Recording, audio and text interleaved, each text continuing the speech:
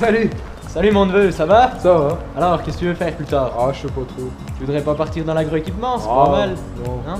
Tu pourrais faire plein de métiers bien, comme commercial, non, inspecteur technique, non, magasinier, non, travailler dans un bureau d'études. non. Hein? Après, tu peux faire mécanicien, Ah non, démonstrateur, il y a plein de choses, c'est super.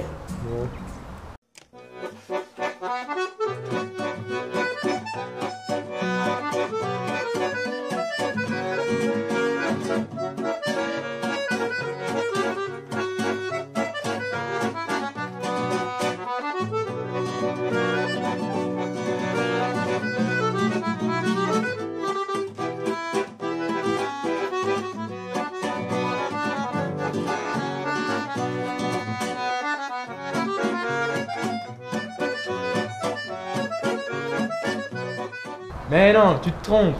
En vrai, faut que t'arrêtes tes préjugés. Les métiers, ils ont changé. Maintenant, ça se passe comme ça.